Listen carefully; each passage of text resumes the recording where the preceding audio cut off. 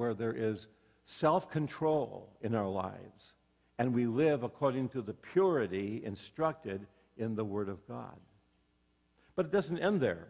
Notice it goes from there in verse 6 to perseverance, remaining strong through the struggles of life.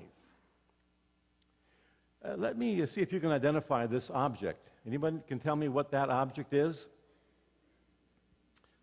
Supposed to be a tea bag, yes.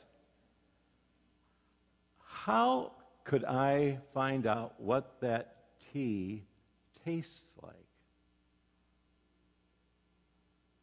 Well, maybe the next picture will help. You put it in a hot water, right? And all of a sudden you begin to realize, ah, this tastes good or it tastes bad. Uh, the real tea comes out when it's in hot water. And some people said Christians are that way. The real, the, the truth, the, what's Christian about you will come out when you're in hot water. The reason I'm so tender is that I'm in hot water all the time. And, uh, you know, but, but hot water brings out the tea. Hot water brings out what a Christian is really like. And he's talking here about going through the hot waters of life and being exposed to the, to the difficulties and the trials of life that really show who you are. And he's saying, you know, we've got to be people of perseverance. We just don't give up when things don't seem to be going our way or the trials come, but we remain strong because we're growing, our tree is growing, and we're becoming more and more like Christ. I like the story I've told you before, I believe, of the, of the pastor and his little son. They were out in the garage. Son was about five years old, and the dad was working away, and he was pounding, and he, he got his thumb in the way, and he smashed his thumb with that hammer with all of his might, thinking he was going to hit the nail, and of course, that hurt. And about 30 seconds after he hit that nail, his little boy left the garage crying, crying, and weeping and wailing, running to his mother. And his mother said, What's wrong? What's wrong? He said, Daddy hit his thumb with the hammer. And she said, Well, son, things like that happen. And, and you have to persevere. You have to be strong. When those things happen, you, you just need to laugh them off. And he said, Oh, I did. That's why I'm crying. well, perhaps the pastor needed more perseverance. But oftentimes, like that, we go through rough times and then we kind of lose our cool. But, but Peter's saying, you know, do you want to love? Not just puppy love, genuine love. Here's how you go about it. You begin with faith, goodness, knowledge, self control, and perseverance. And then in verse 7, godliness. Well, that's a good question. What is faith? That was a difficult one to answer. But now, what is godliness? Think of that. Who is the most godly person that you know? Or in your mind, what would that person look like? What if they were a godly person? You know, many people would, would say, well, it would be something like this person that I'm going to show you on the screen. It's someone who um, kind of isolates themselves from society, maybe goes up on the mountain, lives in a cave, and, uh, and just meditates and worships day and night. Just worships and worships, and this very godly person. If you study what godliness means, what you're looking at now is a picture of just the opposite of what godliness is. Godliness is described in our passage not by isolation, but by by integration, by doing. And uh, it's a very practical thing. Practical Christianity would be a good title for godliness. It's simply practical Christianity. It's getting our hands dirty as we relate to one another, as we help one another, as we help those outside of the Christ. It's a practical Christianity. I like to kind of coin the phrase it's the outliving of the indwelling Holy Spirit the Holy Spirit comes and indwells us, but godliness is letting the work of the Holy Spirit reach out and uh, out. We're going to live it out, what's happening in our lives, the outliving of the indwelling Holy Spirit. Peter makes it very plain, plain what this involves. The next two uh, characteristics really describe godliness. What is godliness? Number one, it's brotherly kindness, verse 7. It's uh, just being kind to one another in the body of Christ. If we can't be kind and love each other in the body of Christ, we're not going to be able to love the world. So here we have the, the idea of brotherly kindness, living together, working together as believers. Some of you heard my old poem that I learned years ago.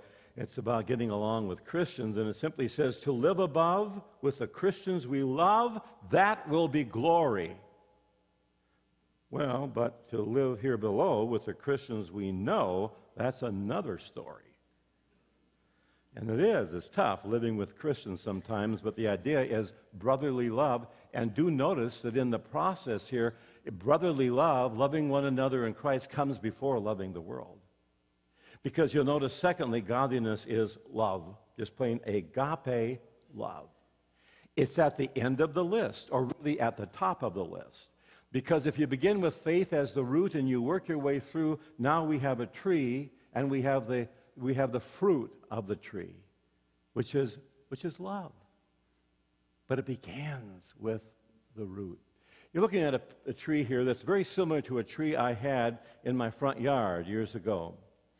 And um, it was a lovely olive tree, but it was very messy and dirty olives all over the place. If you've ever had one on the sidewalk and the color of the sidewalk, and I wasn't, you know, didn't, wasn't in great love with it, but it was an olive tree, and so I preserved it.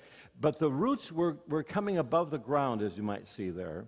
And so I thought, you know, I will cut those roots on, on the ground, cut it down, maybe about six inches, eight inches, get rid of all those roots, put dirt there, and then plant grass because the mower was always having a difficult time doing its job. And so one day I got my axe out and I just started to work and then started to chop all those roots uh, that were on top of the ground down for about six, eight inches. I started on one side and began working my way around. Hard work, I was doing hours. I finally got all those roots up almost to the other side, and guess what happened? The tree fell over. I didn't realize that the roots weren't hardly, and then when I found out, the roots were not more than a, a, a, foot deep. How the thing ever stood up? Well, it stood up because its roots went way out on top of the ground. And as soon as those roots were cut away, the tree toppled over. The roots were not shallow. Compare that to the next picture, of the picture alongside this other tree. You see, when the roots are deep, the tree can stand. There's sort of a rule for most trees that the, the roots of the tree need to be at least as long as the tree, the branches are wide. And then it can take the storms. So, as a Christian, you see, the storms are going to come, but if our roots are deep, then we will ultimately produce the fruit which is love. And when people take a bite out of our fruit, it will be sweet and good, not sour, not negative. So the roots have to be deep. The branches of this tree would be love, and the roots here would be faith. And you see, people have a difficult, difficult time to love if the roots are not deep. And so the question would be well, how deep are your roots today? And if they're deep and you have a healthy tree like that, what's the result? Verse 8 For if you possess these qualities in increasing measure, they will keep you from being ineffective and unproductive in your knowledge of the Lord Jesus Christ. The result is love. The result is increasing qualities like Jesus. So let me ask you, what's your love life like? How deep is your love today? How deep are your roots in the Lord Jesus Christ? Do you love him? Do you love him with deep faith and goodness? Do you love him with your knowledge, self control? Do you love him with perseverance and godliness? And are people seeing you re- relate to them in the church with love, agape love? Does the world see that in you? Does it see it in me? Does it see us at Crossroads Church? Remember, we love him because he first loved us. Will you bow together as we prepare to go to the Lord's Supper today and be reminded of his love, that Jesus loved us, and therefore we need to love others. Let's pray as we, we sing. Jesus loves me, this I